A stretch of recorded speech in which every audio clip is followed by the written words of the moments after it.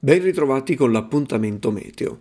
La perturbazione nord-atlantica proprio in queste ore serali sta attraversando le regioni centrali, dove sono in atto precipitazioni un po' ovunque, che continueranno per tutta la notte. Anche domani, seppur con meno insistenza, il tempo rimarrà incerto in tutto il centro-sud, mentre al nord tornerà a splendere il sole.